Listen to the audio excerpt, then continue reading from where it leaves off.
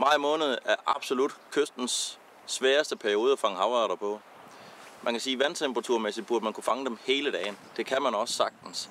Øh, senere år har bare vist, at, at det nemmeste øh, for mit vedkommende har været tidlig morgen, øh, og, og her som efter arbejde, hvor man tager ud på en kystplads og, og fisker den af.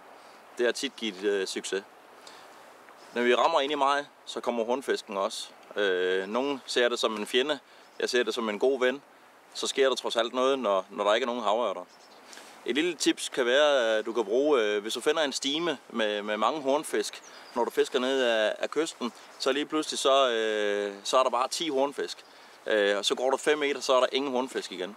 Det her område, hvor alle de her hornfisk de er koncentreret, det er tit og ofte sådan en, en havredemagnet, øh, der på et eller andet tidspunkt øh, også holder havørder. Så det kan godt øh, være en god idé at, at huske nogle punkter, hvor der er mange hornfisk. Der, det er også en god havørdeplads. Øh, men jeg vil råde dig til at fiske om morgenen, og igen øh, efter arbejde om aftenen, og eventuelt til det bliver mørkt.